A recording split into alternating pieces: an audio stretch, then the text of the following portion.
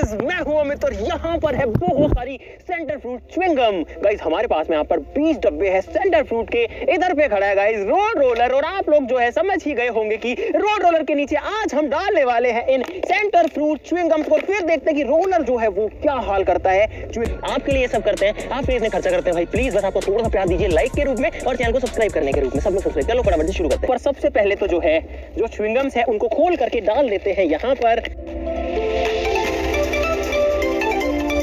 आठ नौ डब्बे डाल दिए हैं। इधर पे जो है थोड़ी खुली खुली रखी है और यहाँ पर जो है हमने बहुत सारी फ़िल्म लगी तो अब करते हैं रोलर को स्टार्ट चलो।